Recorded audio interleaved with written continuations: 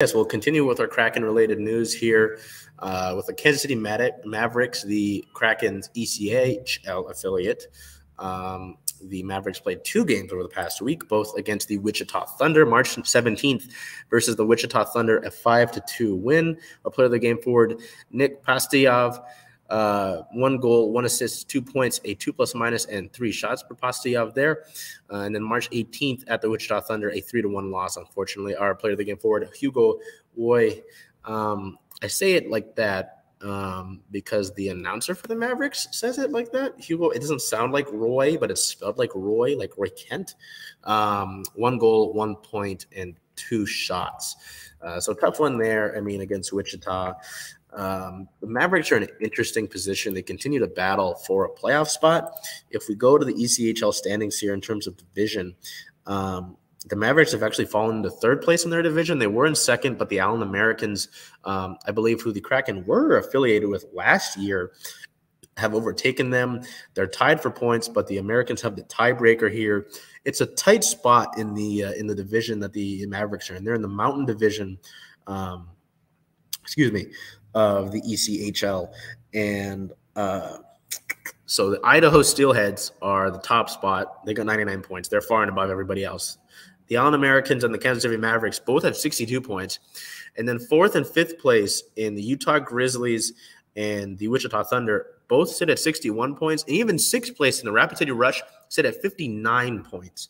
So it's it's a tight. So six through two is separated by three points overall in the standings here, which is a it's a little bit of a problem. So the Mavericks are battling for their own spot here. They made a bunch of signings recently, so um, we'll get to that here in a second. But I want to go with uh, St. Patrick's Day taking place. We'll go over the Mavericks um, St. Patrick's Day jerseys as well, as you can see here.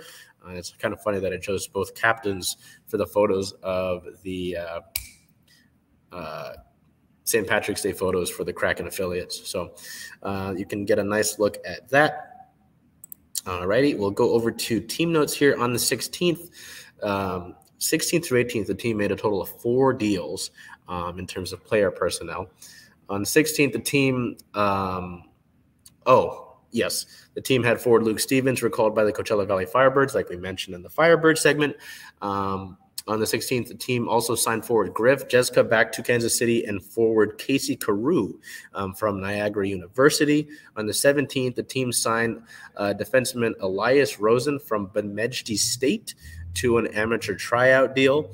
And then on the 18th, in a trade, the team acquired forward Matthew Foget via trade uh, with Orlando Solar Bears uh, for defenseman Jay Powell. So over the last few weeks, Kansas City's made a bunch of different moves, and um, I mean, it's not like the Mavericks have been a great team throughout. Since we've had CSS futures, they've kind of been here and there. And uh, to be fair, they've played some of the better teams in the ECHL. Um, but interesting to see the moves that are being made by them, um, and at the consistency that they've been at. Uh, if that makes sense, you know, with the season coming to a close, it's going to be really tight here as we get closer and closer to the end of the ECHL season, um, which is, is, is pretty close, like a bunch of other leagues. Um, but I mean, it's still there's still a very real possibility, uh, but it's going to be tight. It's going to be really tight. So uh, we look ahead. Oh, I didn't say the record for the Firebirds. I apologize. We'll say the record for the Mavericks. They sit at a 27 win, 26 loss.